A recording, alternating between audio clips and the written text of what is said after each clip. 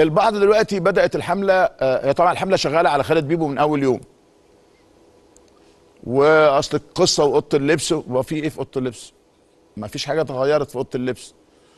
كل وقت بقول لك كابتن سيد عبد الحفيظ تاريخ عظيم جدا في النادي الأهلي وهو ابن من أبناء النادي الأهلي في أي يوم هيبقى موجود في أي منصب في أي مكان مفيش جدال في هذا الأمر.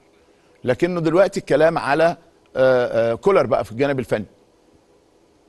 هو إيه القصة إيه؟ طب أنا بس بسأل سؤال. لو جونين واحدة في الشوط الأولاني جت وكرة العارضة جت كان بقى كولر مدرب عظيم ولا إيه؟ ما القصة إيه؟ الأرقام طبعا تخوف. الأهلي ما بيكسبش. آخر 10 ماتشات مش عارف آه، آه، كسبان باين ماتش واحد وتعادلات وعنده خسارة وشغلانة يعني. فالأرقام طبعا تقلق. تخوف جمهور النادي الأهلي. تخوف محب النادي الأهلي. خاصة إنه داخل على كأس العالم للأندية. النهارده جمهور الأهلي زعلان. آه طبعا ليه حق يزعل. هو يعني ال- النادي الأهلي مش متعود إن النتائج السلبية دي في وقت قصير وخاصة إن ال- المجموعة في المتناول بالنسبة للنادي الأهلي وعنده النادي الأهلي عنده القدرة إن هو ينهي مع احترامي طبعا لبلوزداد آه، فريق فريق محترم والكرة الجزائرية على أعلى مستوى.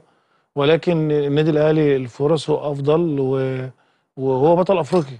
فالمفاجأة للجمهور ومفاجأة لكل ال- النقاد وفي أفريقيا إن النادي الأهلي إيه، معروف عنه إنه كان آه، يقدر يخلص آه، المجموعة والدور ال- ال- الموجود في النادي الأهلي ولكن آه، يعني هو في حاجة غلط في في الماتشات اللي فاتت في الدوري أو في بطولات أفريقيا ان النادي الأهلي كلنا متفقين حتى جمهور النادي الأهلي يعني في تخوف مش كل مش الثقة اللي موجودة إن هو النادي الأهلي يكسب في أي وقت آه، ما بقتش موجودة في مفاجآت.